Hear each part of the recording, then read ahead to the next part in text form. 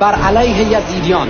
چهل سال است که این رژیم قارتگر رخت سیاه بر قامت ایرانیان پوشانده و ما را در عزای تمام نشدنی فرو بردند هموطن قیور اگر نمی‌خواهی بیش از این شاهد مرگ عزیزانت در فقر و فلاکت باشی همراه شو.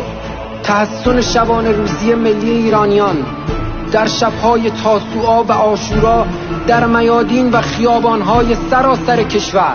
تا سقوط کامل آل یزید. همه ایرانیان همه ایرانیان مذهبی و غیر مذهبی از شب تاسوعا تا صبح آزادی با خیمه زدن در شهرها علیه استبداد آخوندی نافرمانی و